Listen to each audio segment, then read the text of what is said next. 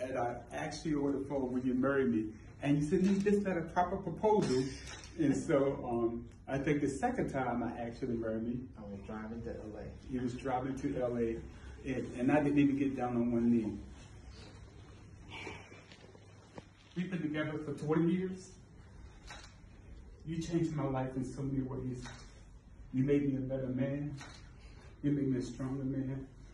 You're the only woman that gave me affirmation. And you always told me, Nick, you're a good man. You're a good father. You're a loving man. And with that confidence and that affirmation, it just made me love you even more. It made me love you even more because you're a Christian woman. You're a godly woman. And God said, if a man finds a good wife, he found a good thing. And I said, God, I got a good thing. I just want to thank you for all the patience that you had. I know sometimes I can be a tyrant, and you put up with me. So I want to ask you, Oh, oh, oh. oh. will you marry me? Yes, again and again and again and again. I love you so. From the depths of my heart, Nathan, I have loved you for 21 years, married to you for 20.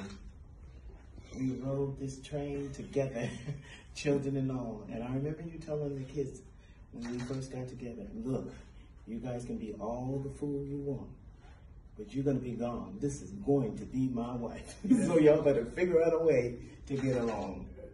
And after that, it was just smooth sailing for the two of us, dealing with the children. But you've been a faithful husband, a good husband, a loving husband. Six months into our marriage, to have a hip replacement. But did you- Of course, everybody blames you for it.